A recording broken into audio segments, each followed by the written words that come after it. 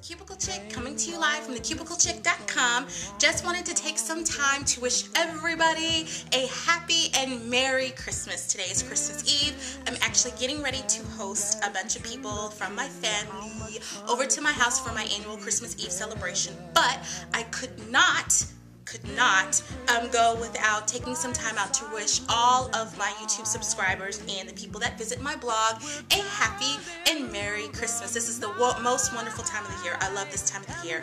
And I'm so excited that Christmas is finally here. And please, let's not forget the reason for the season. And I will be back next year with even more videos for 2011. So you guys, it's been a great year. 2011 will even be better.